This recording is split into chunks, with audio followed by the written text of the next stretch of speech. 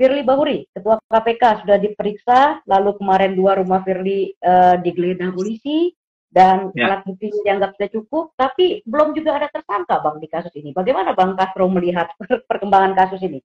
Apalagi sebenarnya yang ditunggu atau dipertimbangkan oleh pihak kepolisian untuk mengumumkan siapa tersangka di dalam Iya, harus dipahami bahwa uh, ada aspek relasi kekuasaan yang mempengaruhi ya lambannya proses penanganan perkara yang melibatkan Firly ini begitu ya.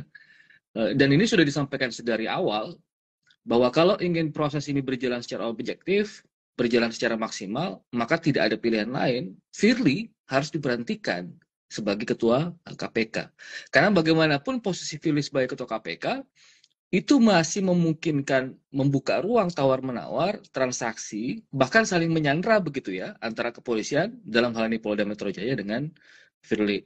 Makanya eh, kawan-kawan masyarakat sipil, publik dalam hal ini juga meminta agar Presiden memang yang memberhentikan Firly sebagai ketua KPK. Hanya dengan cara itu kemudian proses penanganan perkara yang melibatkan Firly itu akan jauh lebih maksimal dan jauh lebih objektif.